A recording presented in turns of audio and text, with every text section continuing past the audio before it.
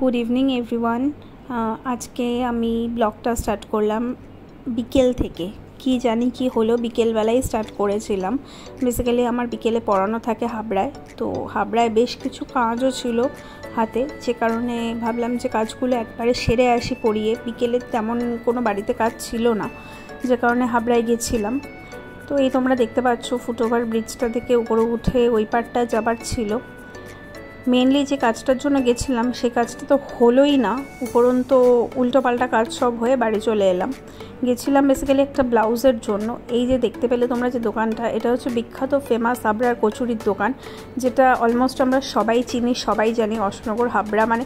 বনগা থেকে মোটামুটি শিয়ালদার মধ্যে যারা যারা হাবড়াটাকে ক্রস করেছ সবাই জানো, এটা ফেমাস একটা কচুরির দোকান, বহু বছর পুরনো। তারপর আমি এই রাস্তা থেকে যাচ্ছিলাম। এটা একদম আমাদের রেল লাইনের পাশ থেকে রাস্তাটা। গিয়ে আমার মেনলি ব্লাউজের দোকানে যাওয়ার ছিল।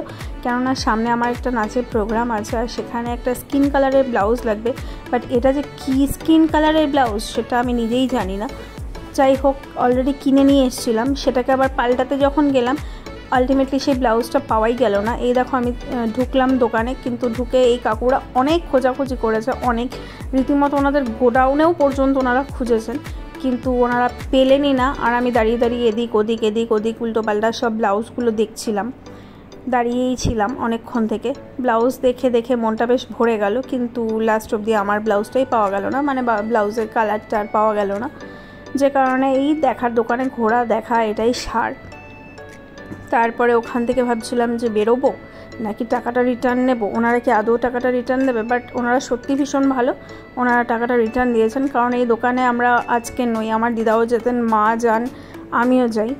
তো তারপরে ওখান থেকে ফাইনালি ওনারা টাকাটা ফেরত দিলেন। বেরিয়ে আসলাম। বেরিয়ে এসে এবার আমাদের হাবড়ার এক নম্বর গলি আছে, যেখানে বেশ অনেক বড় বড় ব্লাউজের দোকান আছে। সেগুলোতেও ঢু মারা হয়ে গেছিল। কিন্তু সেগুলোতেও আমি পেলাম না। আমার মানে এত রাগ হচ্ছিল যে কি বলব?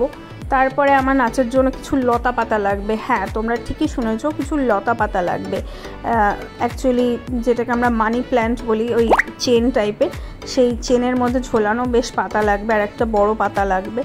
তো আমি হাবড়ায় এগুলো খোঁজাখুঁজি করছিলাম, এদিক ওদিক সেদিক মানে হাবড়ায় যে কী আজকে ঘুরেছি সেটা মনে হচ্ছিল যেন আমি বিশ্ব দর্শন করতে বেরিয়েছিলাম।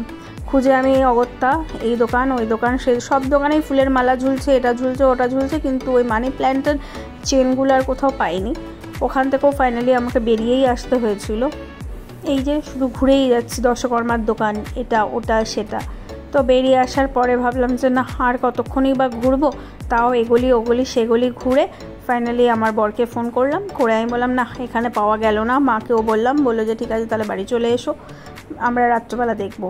তো রাত্রবেলা আবার কি হয় জানি না। এটা করে ঘুরে টুরে বাড়ি চলে আসলাম। না, বাড়ি আসার আগে আবার একটা দোকানে গেছিলাম, সেটা আমি ভিডিও করা হয়নি। আমার একটু কসমেটিক্সের দোকানে যাওয়ার ছিল কয়েকটা জিনিসের জন্য। সেগুলো নিয়ে ফাইনালি এই যে অটোতে উঠবো বলে অটোর দিকে এগোচ্ছিলাম। এগিয়ে এসে হ্যাঁ একটা অটো পেয়ে গেছিলাম, একদম পেছনেই বসে গেছিলাম, ঝম করে উঠে পড়লাম পেছনে। এইবার অটোটা চলতে শুরু করল যে না, এবার ফাইনালি বাড়ি যেতে হবে, আর হাঁটতে পারছি না। রীতিমতো মাথা ঘুরছিল তখন আমার। এতটা শরীর খারাপ লাগছিল, প্রচণ্ড খিদে পেয়েছিল মানে সবই একসঙ্গেই হচ্ছিল। চলো আজকে মতো, টাটা।